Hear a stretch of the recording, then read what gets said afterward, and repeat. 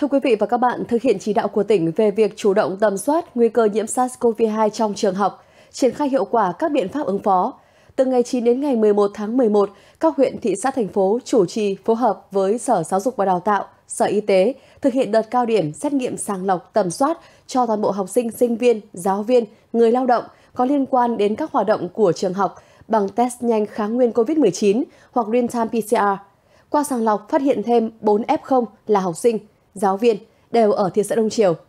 Như vậy, đến thời điểm hiện tại, toàn tỉnh có 17 F0 là học sinh giáo viên. Hiện các trường học trên địa bàn tỉnh đang khẩn trương phối hợp với các cơ sở y tế trên địa bàn, trạm y tế để tập huấn kỹ thuật lấy mẫu xét nghiệm cho các giáo viên, tăng cường tuyên truyền vận động phụ huynh học sinh thực hiện tốt các quy định phòng chống dịch tại gia đình và nhà trường, tích cực ủng hộ các chỉ đạo của Trung ương, của tỉnh trong triển khai thực hiện các biện pháp nhằm kiểm soát linh hoạt tình hình diễn biến dịch bệnh. Thành phố Uông Bí hiện là địa phương có số ca F1 đang cách ly tại nhà lớn nhất toàn tỉnh với trên 1.900 người. Cùng với đảm bảo các quy định về chăm sóc y tế, theo dõi sức khỏe, thì công tác đảm bảo cung ứng nhu yếu phẩm phục vụ cho các trường hợp cách ly cũng được chuẩn bị chu đáo và có phương án cụ thể. Phường Phương Nam hiện có 435 trường hợp F1 đang cách ly tại nhà. Hàng ngày, các tổ COVID-19 cộng đồng và tổ dân đi chợ giúp các trường hợp F1 đang cách ly tại nhà. Ờ, nhà tôi bây giờ hiện tại giờ là có 5 người cách ly. Thì thực phẩm thì ờ, các các ờ, bên tổ Covid hỗ trợ thì nhà tôi cũng yên tâm, không phải lo lắng gì cả. Hiện nay, 1.970 trường hợp đang được cách ly tại nhà đều được đảm bảo cung cấp thực phẩm, phục vụ sinh hoạt hàng ngày. Thành phố cũng như các xã phường đảm bảo nguồn lương thực thực phẩm, không để xảy ra thiếu, khan hiếm hoặc tăng giá đột biến trên địa bàn. Qua đó giúp các trường hợp F1 yên tâm chấp hành nghiêm quy định cách ly. Bên uh, phường uh, mang cả đồ yếu nhu yếu phẩm đến cho gia đình như thế là gia đình rất là cảm ơn. Và hiện tại là 6 người ở nhưng mà lúc nào cũng giữ khoảng cách không lúc nào ngồi sát ở nhau rồi đeo khẩu trang rửa tay thường xuyên rồi dọn dẹp nhà cửa. Những trường hợp mà trường hợp F0 F1 mà khó khăn thì chúng tôi có cái đề nghị với chính quyền là hỗ trợ một phần cái tiền lương thực thực phẩm và thường xuyên hàng sáng là chúng tôi đến xem gia đình có yêu cầu gì không thì chúng tôi cung cấp. Thế thì trong khu phố 3 như vậy là có một cái tổ chuyên trị cung cấp lương thực thực phẩm là 20 người để cung cấp hàng ngày. Thì nói chung các gia đình như vậy là rất là phấn khởi, yên tâm cách ly.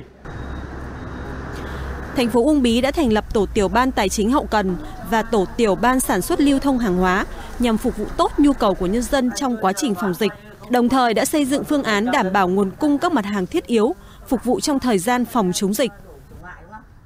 Thành phố xây dựng kịch bản để dự trữ hàng hóa đảm bảo trong 30 ngày cũng à, đã chỉ đạo 51 à, các đại lý và 10 xã phường, 10 chợ xã phường và 12 siêu thị Vincom trên địa bàn đảm bảo đủ cái lương thực phẩm phục vụ cho bà con nhân dân trong cái thời gian cách ly tại trong vòng 30 ngày. Hiện nay thì qua đi kiểm tra khảo sát cũng nắm bắt được một số phường thì cũng đã đảm bảo đáp ứng nhu cầu cho người dân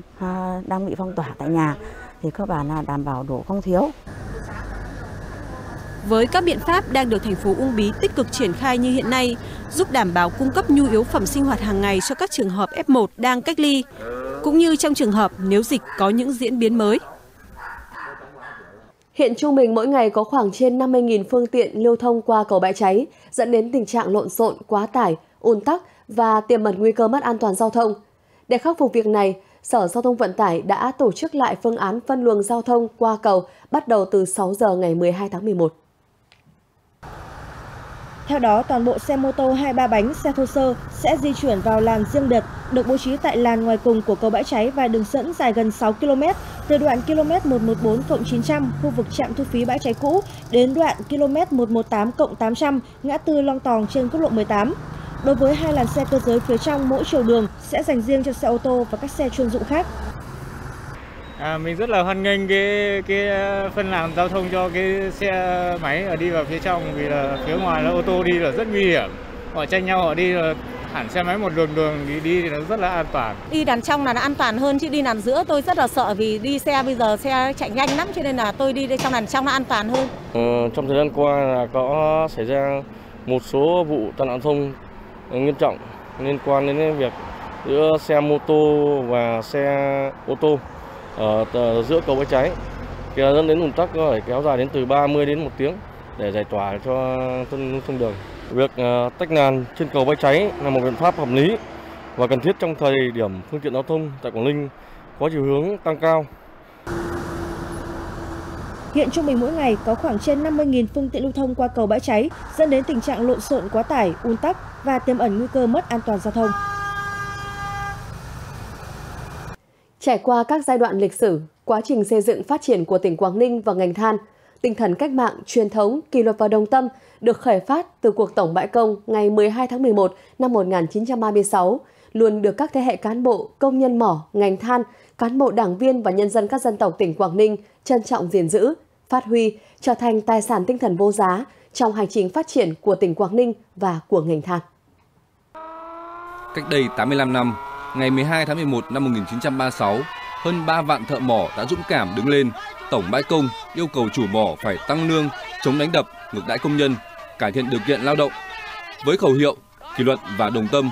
tinh thần đấu tranh quả cảm, đoàn kết và ý thức kỷ luật cao, cuộc tổng bãi công kéo dài 20 ngày đêm của những người thợ mỏ đã giành được thắng lợi hoàn toàn. Công nhân ngành than từ thân phận nô lệ đã ngẩng cao đầu trong tư thế của người làm chủ vùng mỏ và ngày càng khẳng định sức vóc của người thợ mỏ thời đại mới, đóng góp to lớn cho sự phát triển của tỉnh Quảng Ninh và cả nước. Hiện nay, ngành than đóng góp khoảng 1 phần tư GRDP và gần 40% ngân sách thu nội địa của tỉnh, tạo ra việc làm thường xuyên cho khoảng 80.000 lao động, tác động trực tiếp đến 1 phần 3 dân số và gắn bó sâu sắc đến mọi mặt đời sống kinh tế xã hội của tỉnh. Đặc biệt, trong bối cảnh ngành dịch vụ du lịch, ngành kinh tế mũi nhọn của tỉnh bị ảnh hưởng nặng nề bởi dịch bệnh trong năm 2020, năm 2021, ngành than đã trụ vững, khẳng định vai trò trụ cột của ngành công nghiệp đối với sự ổn định phát triển kinh tế xã hội của tỉnh Quảng Ninh.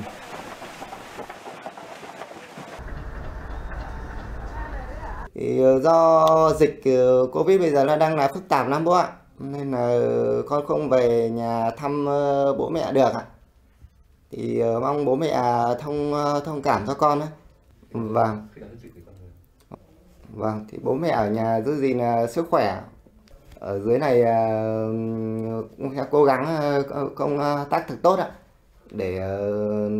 duy trì sản xuất và cũng như là phòng chống dịch. Cũng như anh Hào,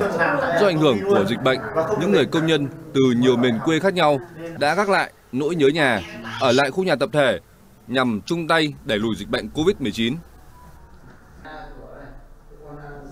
Mặc dù nhớ vợ nhà con nhưng mà do tình dịch bệnh chung ở nước thì chúng tôi cũng đưa vào lại gắn bó cùng công ty làm ăn và cũng ờ, kiếm thêm thu nhập để hỗ trợ về gia đình ở, ở lại chúng tôi ở lại thì ờ, ban lãnh đạo giám đốc công ty cũng như công đoàn công ty cũng chăm lo là sống anh em. Và đã nhiều lần đến ờ, tận ờ, phòng của công nhân tặng quà và tặng các đồ dùng cá nhân. Từ những cái nhận thức của công nhân như vậy và cũng chính từ những cái mà công ty quan tâm đến người lao động thì anh em cùng đồng lòng đồng sức thì hầu hết là hiện tại chúng tôi là à, công nhân tự nguyện ở lại bình quân đi làm à, các ca thì à, đều đảm bảo trên 80% hàng ca. Khi dịch Covid-19 xảy ra, tinh thần kỷ luật đồng tâm của người thợ mỏ càng được phát huy, trở thành sức mạnh nội sinh không chỉ riêng trong ngành than mà là cả Quảng Ninh trong cuộc chiến chống dịch. Nhờ đó mà Quảng Ninh đã giữ vững địa bàn an toàn, là điển hình của cả nước trong công tác phòng chống dịch. Mặc dù giữ vững địa bàn an toàn, song do tác động của dịch Covid-19 đã ảnh hưởng đến các ngành, lĩnh vực và mục tiêu tăng trưởng kinh tế của Quảng Ninh trong năm 2021. Trong bối cảnh khó khăn đó, ngành than với vai trò là một trong ba trụ cột an ninh năng lượng quốc gia đã tăng sản lượng than khai thác trong quý tư năm 2021 nhằm góp phần tạo việc làm, nâng cao thu nhập cho người lao động, đảm bảo mục tiêu tăng trưởng hai con số của tỉnh Quảng Ninh trong năm 2021. Là để đảm bảo được các cái sản ờ, kế hoạch sản xuất tập đoàn giao, cũng như là cái phần tăng thêm 30.000 tấn than một lò. Thì công ty đã có có một số những cái nhóm giải pháp. Thứ nhất là đầu tư đổi mới công nghệ ờ, áp dụng các cái công nghệ mới trong công tác khai thác, đào lò và vận chuyển. Thứ hai là đảm bảo các cái điều kiện ờ, cải tạo các cái điều kiện môi trường làm việc, đảm bảo điều kiện an toàn. Ờ, trong quá trình lao động, cho người lao động để giữ chân, đảm bảo duy trì cái lực lượng lao động để đáp ứng được cái yêu cầu sản xuất. Thực hiện cái mục tiêu tăng trưởng năm 2021 của tỉnh thì Tập đoàn ờ, Công nghiệp Than khoáng sản Việt Nam đã làm việc và giả soát rất kỹ với các đơn vị và trên cơ sở đó thì đã quyết định là tăng cái sản lượng than sạch sản xuất năm 2021 của tập đoàn trên địa bàn tỉnh lên ờ, từ 36,8 triệu tấn lên 39,1 triệu tấn, tức là tăng hơn 2 triệu tấn so với cái kế hoạch đầu năm. Và trên cơ sở đó thì giao tăng cái sản lượng cho các đơn vị. Chủ tịch Hồ Chí Minh đã từng căn dặn, càng khó khăn thì càng phải thi đua, càng thi đua càng mau thắng lợi. Phát huy truyền thống kỷ luật và đồng tâm, mỗi công nhân cán bộ ngành than là đội quân tiên phong, hạt nhân, nòng cốt đảm bảo cho sự ổn định và phát triển của tập đoàn công nghiệp than khoáng sản Việt Nam cũng như của tỉnh Quảng Ninh.